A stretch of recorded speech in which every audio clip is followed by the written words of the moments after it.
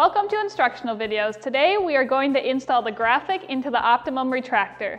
Before you begin, you want to make sure that you have shipping tape handy. So first thing I'm going to do is remove the end caps from my snap rail and open it. So I'm just going to remove both end caps and open the snap rail.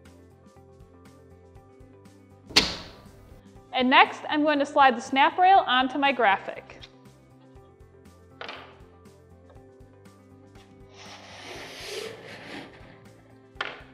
Once you have it completely slid on, you're just gonna press it shut. And you're going to replace the end caps.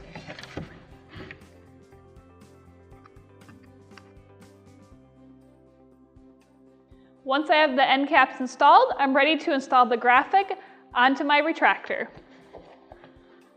So I'm just going to use the hook and loop, and I'm just going to align the graphic onto the leader.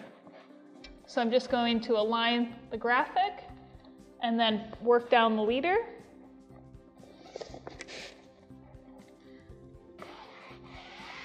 Once I have the graphic attached, I'm just going to add a strip of packing tape for extra security.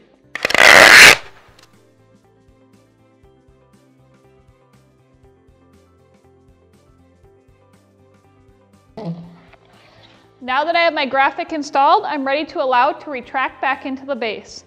So you're going to place your hand on the graphic to make sure it doesn't go shooting into the base.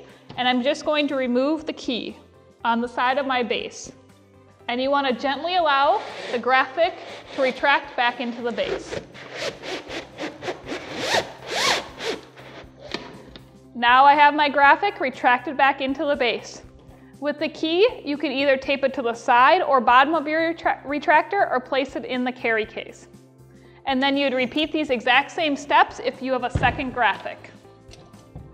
And it's just that easy to install your graphic into the Optimum retractor.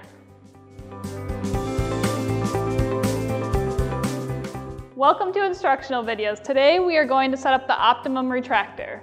So first thing I'm going to do is remove all the parts from this convenient carry case.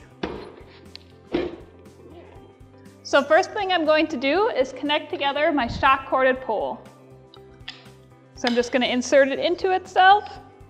Next, I'm going to insert the pole into the hole in the middle of the base. Next, I'm going to pull up on the snap rail and connect it to the hook on the top of my pole. So I'm just going to open the lever on my pole and extend it to the desired height. And then I'm going to close the lever. Now if you have a double-sided optimum retractor, you will lean back the base and then pull up on the second snap rail and attach it to the top of your pole. And it's just that easy to set up your optimum retractor.